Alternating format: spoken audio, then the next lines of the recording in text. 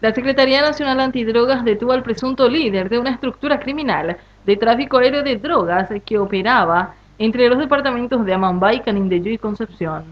El presidente de la República, Mario Abdo Benítez, felicitó a la institución por este nuevo golpe al narcotráfico. El allanamiento se realizó en Cruce Bellavista, en un establecimiento rural, en el que fueron aprendidas 10 personas, entre ellas Jorge Teófilo Zamudio González, alias Zamura, líder de una estructura criminal de tráfico aéreo de drogas que opera entre los tres departamentos. Felicitamos a la Senada por este nuevo golpe al narcotráfico. Detienen a un presunto líder buscado del Comando Vermelo, a la paraguaya, alias Zamura, en la zona de Bella Vista Norte en Amambay, frontera con Brasil. Sigamos adelante, es lo que tuiteó el jefe de Estado.